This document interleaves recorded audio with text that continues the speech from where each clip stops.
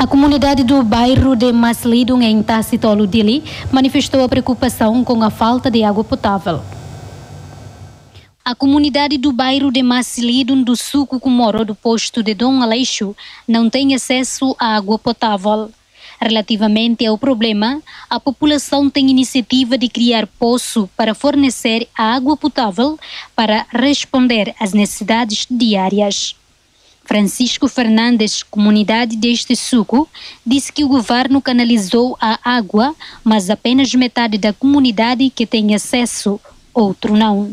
Salvador Soares Silva, representante de jovens do suco, pede ao governo que crie tanques à comunidade para facilitar as necessidades diárias. O problema não só em Dili, mas outros municípios enfrentam igual. João Aníbal e Miguel da Costa na reportagem.